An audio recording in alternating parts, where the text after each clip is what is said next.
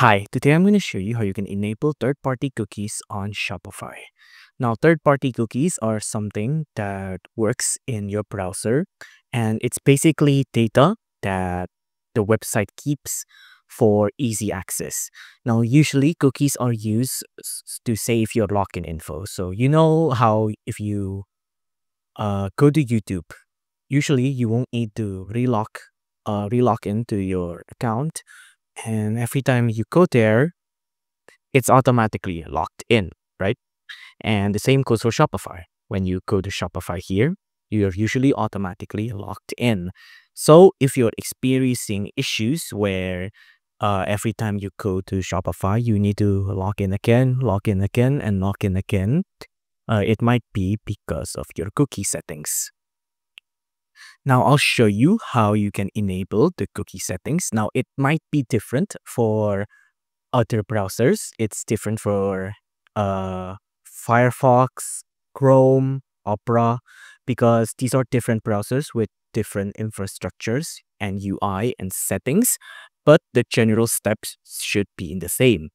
Okay, so for example, here I'm on Shopify. You want to click on this page information, the lock here, and you'll see uh, cookies and site data here.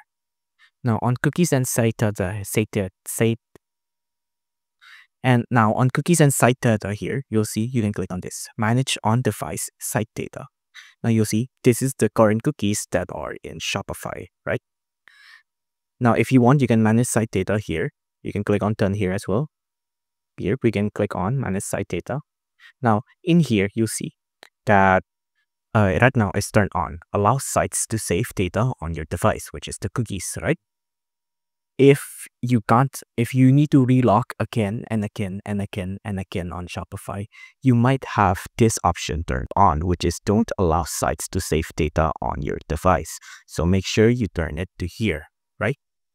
But this is on Shop. This is on Opera, right? What would it look like on Chrome? Now I'm going to show you on Chrome. So on Chrome, this is still Shopify. Now on Chrome, the general steps are still the same, which is clicking on here on the top left here, and then still cookies and site data.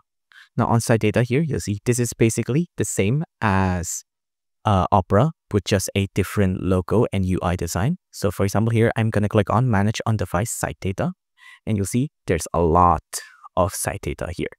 Now it's still the same. You just have to click on manage site data here, right? And it's still the same general UI in Chrome as it was on Opera GX as well. So again, if you uh, can't log in on Shopify or you need to log in again and again, make sure the site uh, option is set to this, which is allow sites to save data on your device.